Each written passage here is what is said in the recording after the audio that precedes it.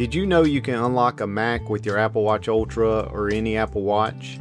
If you have one, this is a quick way to unlock your Mac. Let's see how it works.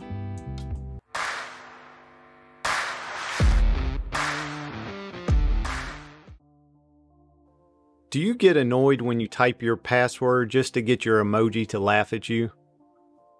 What is this poo laughing at? I mean, seriously? Now, if you get frustrated sometimes when having a password prompt on your Mac, let's see if I can help you out. I'll give it a shot.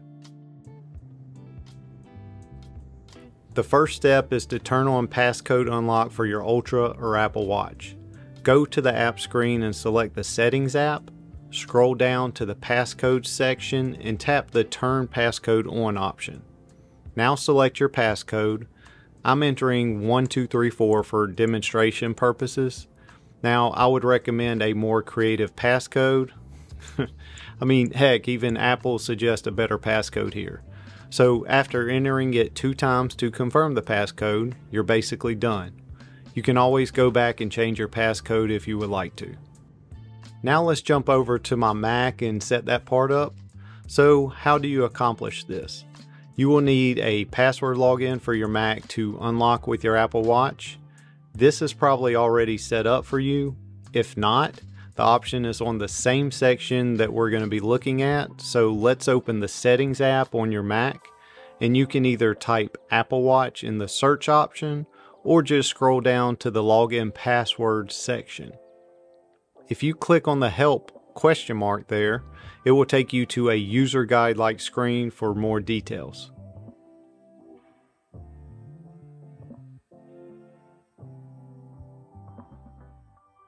Under the Apple Watch section which says use Apple Watch to unlock your applications and your Mac, you should see your Apple Watch there like you see my Ultra. Now activate this option. The Mac will then prompt you for your Touch ID and password so type it in and select unlock. On a side note, this also unlocks another feature where you can confirm or verify passwords for installing apps on your Mac.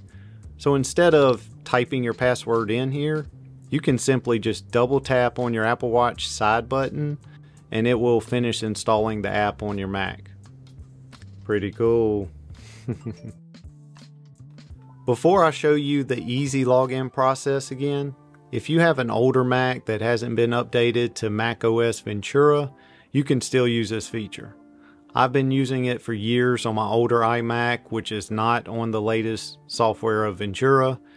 You just go to the settings app like normal and type in Apple Watch on the search option.